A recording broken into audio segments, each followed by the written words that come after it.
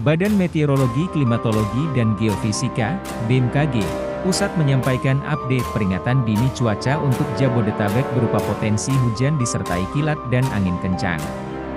Kamis 25 Agustus 2022 Potensi hujan lebat disertai kilat dan angin kencang di beberapa wilayah di Jakarta, Bogor, Depok, Tangerang dan Bekasi atau Jabodetabek.